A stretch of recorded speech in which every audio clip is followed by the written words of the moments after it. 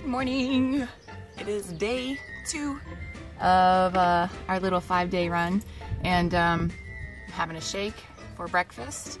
Lots of spinach, Shakeology, Quest protein, frozen banana, water, ice, and that's it. And then I'm also working on water and then I have more fruit in the back for later and, um, and then I'll probably come back home for lunch. I'm super stoked because today I have to make an airport run to pick up a very special friend who's staying in town for a little bit and I'm so pumped so uh, stay tuned.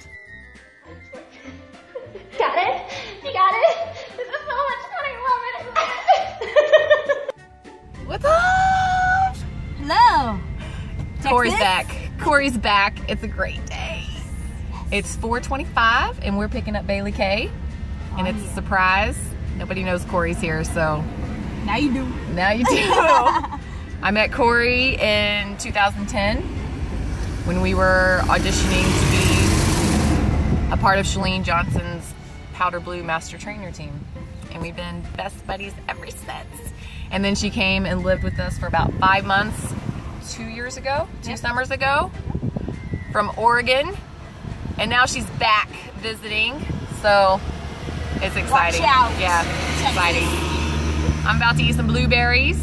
There's about three cups in here, and then I'll probably make a shake before teaching barbell and turbo tonight. Are you gonna take class? Oh yeah. Oh yeah. I'll be there. All right, so we will check back later when we eat again. It is 5.06, 7, 5.07. I'm gonna have a little hummus snack before my little turbo party.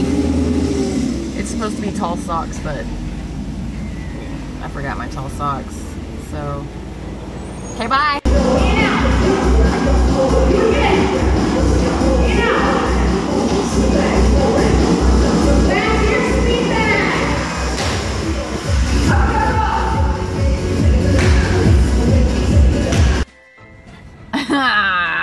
it's 8:10 now, and I'm smelly.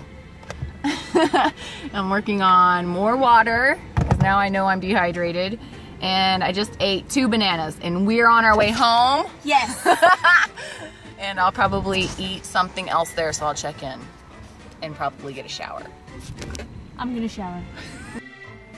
Okay, it's 8:40. We're wrapping up. Dinner time. dinner time.